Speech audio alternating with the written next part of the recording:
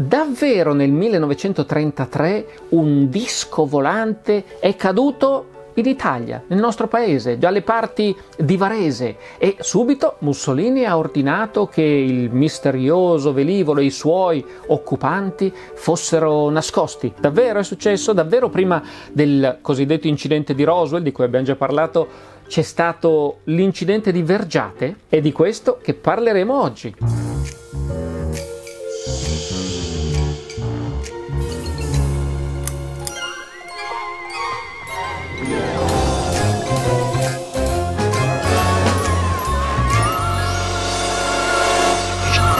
Bentrovati naviganti nella mia stanza delle meraviglie. Oggi è la giornata, il mercoledì, quello in cui parliamo delle teorie del complotto, della cospirazione. C'è un complotto eh, che risale addirittura, risalirebbe agli anni del fascismo. No? La storia è assolutamente intrigante e, e lo sentirete, insomma, sembra, sembra tratta da un film. È il 13 giugno 1933. Il cielo stellato di Vergiate, in provincia di Varese, improvvisamente è attraversato da una scia luminosa. Sembra una stella cadente, ma le sue dimensioni si fanno di colpo più grandi finché con un botto questo misterioso oggetto finisce per abbattersi al suolo. Immediatamente le forze dell'ordine intervengono e, recatesi sul luogo dello schianto, trovano i resti di un misterioso velivolo volante e i corpi di due strani piloti, piuttosto alti e con capelli e occhi chiari. L'incidente è subito secretato, scatta il divieto di diffonderne la notizia ed entra in gioco il misterioso gabinetto RS-33, dove la sigla starebbe per ricerche speciali, voluto dal duce Benito Mussolini in persona e guidato niente meno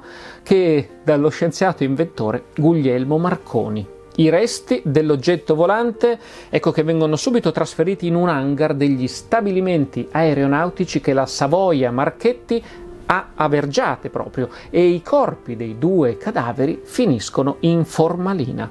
Tutto tutto resta occultato e segreto finché, a guerra finita, l'Air Force americana cosa fa? Si impossessa dei resti e li spedisce in America, dove saranno collocati in una nuova zona militare segreta, appena allestita, guardate un po', nel deserto del Nevada, che prenderà il nome di... Esatto, avete proprio indovinato, Area 51. È una storia molto suggestiva, no? come dicevamo, sembra un film, eh, sembra consegnare in effetti no, questa storia all'Italia la palma per il primo crash ufologico 14 anni prima del ben più famoso eh, crash di Roswell, l'incidente di Roswell a cui abbiamo dedicato un episodio qualche tempo fa. A rendere pubblica questa storia nel 2000 è il segretario del Centro Ufologico Nazionale, un'associazione privata, nonostante il nome così roboante, che racconta di aver ricevuto da una fonte anonima alcuni documenti d'epoca fascista che conterrebbero informazioni riservatissime sull'incredibile scoperta. Dal centro, del CUN, così si chiama, si sostiene che sottoposta a esami la carta dei documenti risulta autentica, ma qui ecco che sorgono i primi problemi.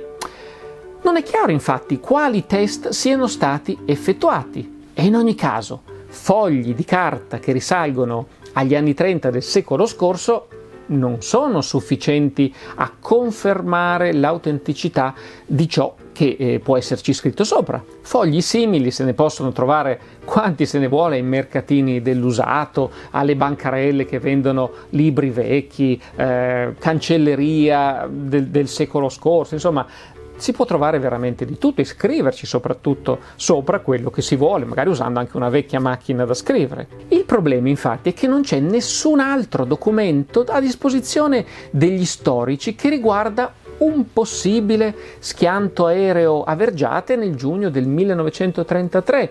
Non c'è tantomeno nemmeno uh, una conferma circa l'esistenza di questo fantomatico gabinetto RS-33. Il modo in cui sono scritti i documenti che vengono proposti in un libro, infine, non sembra per niente realistico. Dovrebbero essere documenti appartenenti a un archivio, no? Così viene, viene, raccontato, ma in realtà non presentano numeri di protocollo, non ci sono timbri, non c'è nessuna indicazione verificabile circa il mittente o il destinatario. Se a tutto questo aggiungiamo il rifiuto da parte del CUN, di questo centro, di consegnare i documenti ad altri ricercatori, ad altri studiosi per sottoporli a verifiche da parte di autentici esperti, beh, direi che ne abbiamo più che a sufficienza per dubitare della serietà di tutta la storia. Come sempre poi ci sono i finti esperti, insomma, quelli che magari si vanno a mascherare su YouTube per far credere di non poter rivelare la loro identità perché stanno rivelando dei segreti compromettenti. Alcuni di questi sostengono per esempio che la prova dell'autenticità di questo UFO crash di Vergiate si troverebbe nell'archivio di Stato di Milano, in particolare nel fondo gabinetto prefettura e pre- di preciso proprio ai faldoni 400 e 401.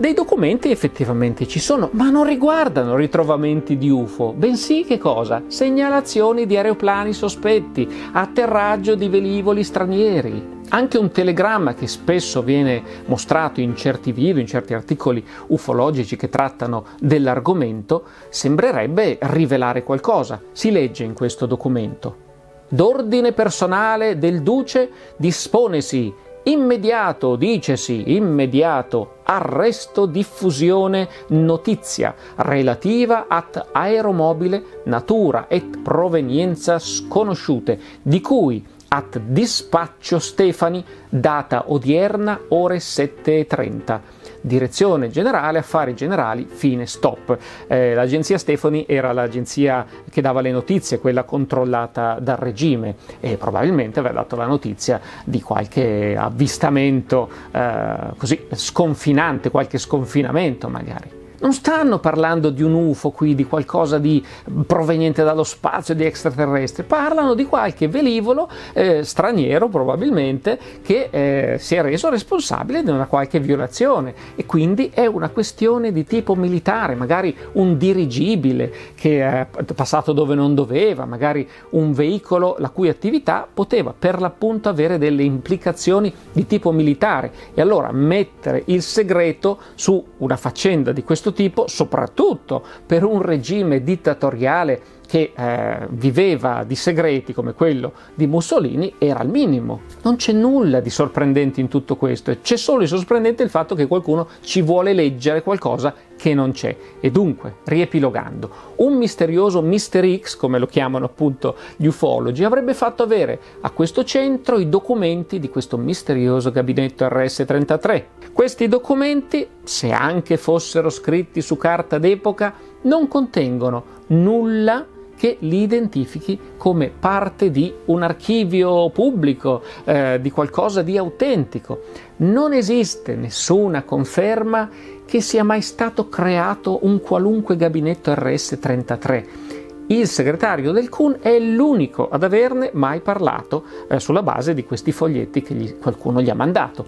In 70 anni di storia italiana non c'è niente del genere. Alla richiesta che hanno fatto gli studiosi, gli esperti di poter osservare queste carte, di poterne verificare l'autenticità, il CUN si è rifiutato di mostrarli. E allora, che cosa possiamo concludere secondo voi da tutta questa storia? Il mondo dell'ufologia, che conta anche persone molto capaci, molto attente, eh, prendiamo per esempio gli studiosi del CISU, sono studiosi affidabilissimi ma è un mondo, no? quello dell'ufologia, che da sempre si muove a cavallo tra eh, la fantascienza e il complottismo per tanti, per tanti altri, per tante altre associazioni. E a sua volta è stato spesso vittima di scherzi, di burle, ne abbiamo visti tanti, che poi sono sfuggite magari di mano ai loro creatori.